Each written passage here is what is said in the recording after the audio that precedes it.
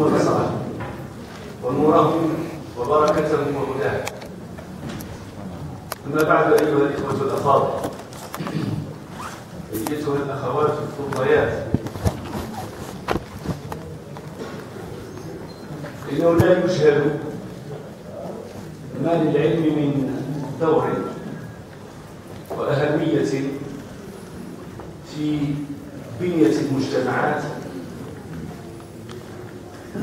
وقواعد الحضارات وأساسيات المجتمعات في كل العصور والأزمنة بشكل عام. هذا العلم لا يكون له أثر ولا تأثير ولا تأطير إلا إذا كان منبثقا عن رؤية وعن مشروع. وإذا كان يمتح من جهود السابقين ليربط الخلف بالسلف. في حلقات متصلة تستفيد من التراكم وتستثمر المنتوج لتستشرف به ومن خلاله المستقبل المشرق والمبين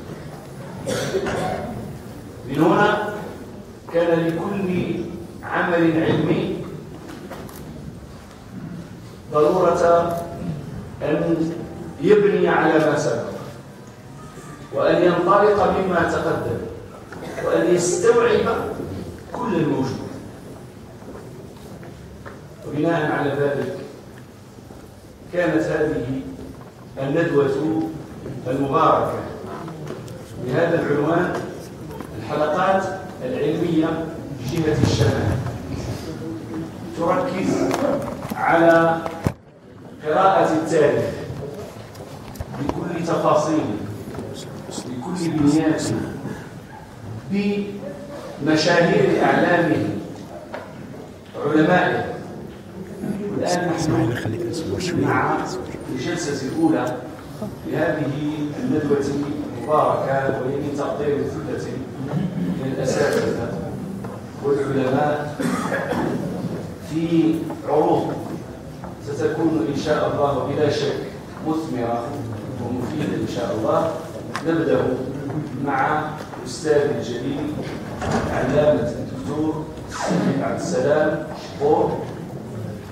في مداخلته جهود علماء الجهة في مد جسور التواصل العلمي والحضاري بين المغرب وشعوب العالم. فليتعد